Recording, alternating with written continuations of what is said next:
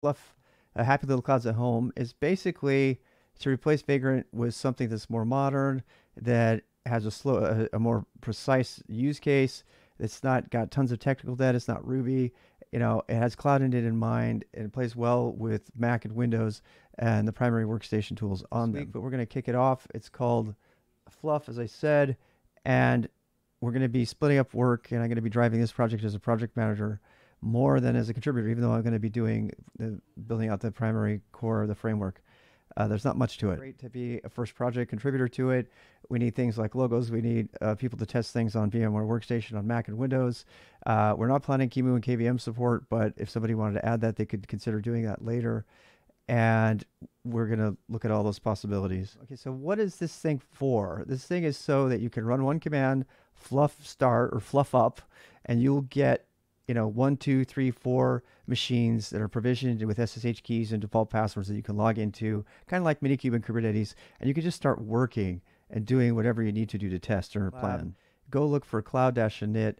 This is using all the dependencies on curl and everything to do the same thing. This instantiates a, a, a VMware server. It sets up the cloud init stuff with the template, and it brings up, you know, uh, uh it pulls down the files and everything in Go. So that's what you need to learn if you want to participate. We're going to be doing all this in coding and Go. Uh, again, this project is rwxrob slash lab. If you want to go follow, this is the first version of it that already works. We know, so we know this is going to work because we've already got it to work using just bash. That project, you can go here and you can follow it. Uh, we follow on a main, and you can, or if you want to contribute, you can. Uh, there's not much here right now, but this is where we're going to be adding our issues and I'm going to be adding those right now about the work that we need done, logos and I stuff. I mentioned L- LBG uh, DN, who has been very instrumental in this project, who wrote the original Bash script uh, and taught me open everything I know about open init.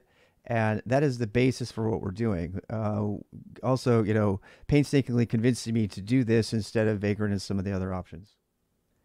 All right, so I was recently reminded that uh, you can use YubiKey for signing everything. I do this for GitHub, and somebody noticed that I did it and asked why I didn't do it for GPG and SSH because I didn't know how to do it for that.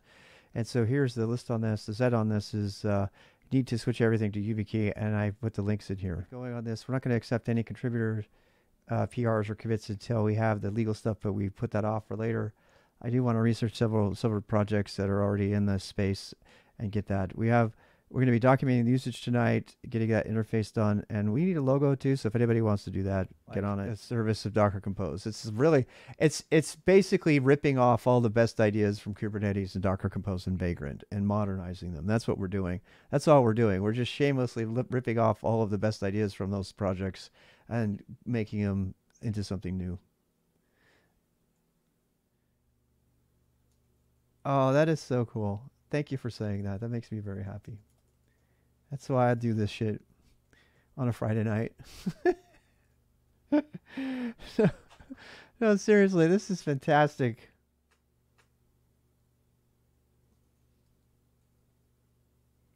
I think it is. I think Foss is a sorry, serious path for getting a job. I think it's really, really underrated. I don't think people truly understand how much it prepares you. Yeah. Um, I mean, I, I, need to extract a section out of the YAML file based on comments because we want the raw YAML file. We don't want to parse the YAML and then rewrite it. We just want that. We're basically looking at the YAML file as a string and then just taking that section to the deb tree, um, and in in here, and init.go, and you can go have a look at this. But here's all the code for that. So and we um you can have a peek at that anytime. So, so we created a, uh, a fluff full and a fluff simple with the default being fluff simple. Uh, and that creates uh, two different kind of files. And we wrote the test code, unit test code using traditional tests um, here to check the files and make sure that what we're expect, put everything in test data by default. All right, so the next task is going to require us to do a number of things. So we only want fluff up to be public. But we're going to need to do a number of other things. Fetch, convert, get the ISO, and build a volume. And those we're going to build out as individual hidden commands that people can can pull up if they know about them. Uh, as you know, the fetch is just a, a take on the original that we did already with curl. we have a curl command in here that just pulls down the file. That's all it does. Pretty simple operation. It should not take us that much trouble. To fetch something, we have to have something to look up. And that was when I remembered remember that we have got to do this here. We've got to we've got to take the YAML file from the YAML fluff.yaml file and populate it into a struct. We're gonna do that now. Go into the internet. It's super easy to do that, and um, that's something I've been wanting to build in the command box for a long time. So that helps make the decision that I'm going to put the documentation in the description and then we can convert that and, and render it as a web thing in command box later. And that's fine, but it's most the most flexible. So if you want to parse a YAML file in Go, you have two options. You can either parse it in the flexible way into a map string interface, or you can set up all the structs that you're going to have permanently and you can unmarshal it directly into those structs. Is not a valid or you, you don't provide another field, it will just say, sorry, you're out of here. And you, what you end up getting is you get it, you have to do a lot of validation on the structure after it comes in and gets parsed because it doesn't throw any explicit errors. And uh, we're gonna we're gonna understand what that means here pretty soon. All different ways that people document Go things. Sometimes when people document Go things, they'll put stuff at the end over here, like I did here. Sometimes they'll put it at the top. Sometimes they'll obfuscate each thing and they'll break it all down like this. Uh, I don't like when they break up all the names. I don't like that at all. It because when I want to do something, I want to look at the struct and know immediately what everything is. If they want to spend a verbose amount of time describing all this stuff, do that shit in the documentation up here. Don't do it here.